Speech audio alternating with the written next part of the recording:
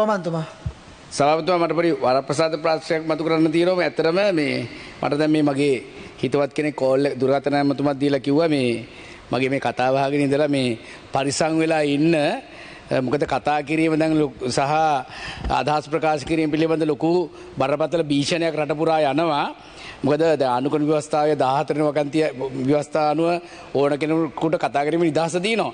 නමුත් ඒ මගේ මට දැනුම් දුන්න කෙනා කිව්වා මේරියන් සංගීත කණ්ඩායම විනෝදයට කියපු සින්දු සින්දු කොටසකට අ, අද දව- මේ මෑත මෑතකදී අ, ලොකු අ, පීඩනයක් එල්ල කරලා අ, ඒ අය විසින් නැවත වතාවක් ඒ ඔවුන් කිය ගායනා කරපු ඒ- ඒ ගීත කොටස සම්බන්ධයෙන් සමාව අය දෙලා සමාව ඉල්ලලා ආපහු වීඩියෝ එකක් සමාජයට සමාජ දාලාවලට දාලා තිනවා.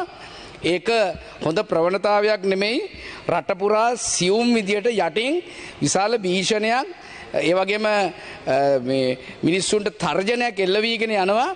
මේ හොඳ තත්ත්වයක් නෙමෙයි. ඒක නිසා විශේෂම ජනතා විමුක්ති වෙන වුණත් මාලිමාවට සම්බන්ධ කොටස් මේ වුණට මේ අදහස් ප්‍රකාශ කරන අයට මේ විදියට කරන එක අ, සැලකිල්ලකට ගන්න. මොකද පළවෙනි වතාවට සංගීත කණ්ඩායමක් විනෝදයට කියපු ඒකට නැවත වතාවක් ඒ සංගීත කණ්ඩායම මේරියන් සංගීත කණ්ඩායමම සමාවිල්ලලා ඒ වීඩියෝවත් දැමීම කියන එක සැලකිල්ලට ගන්න ඕන. මොකද අනුර කුමාරටත් එයාගේ නඩේටත් විතරයි. එතකොට මේ වෙලාවේ ඕන කෙනෙකුට අපහාස කරන්න බනින්න අ, ඕන පරිභව කරන්න පුළුවන්.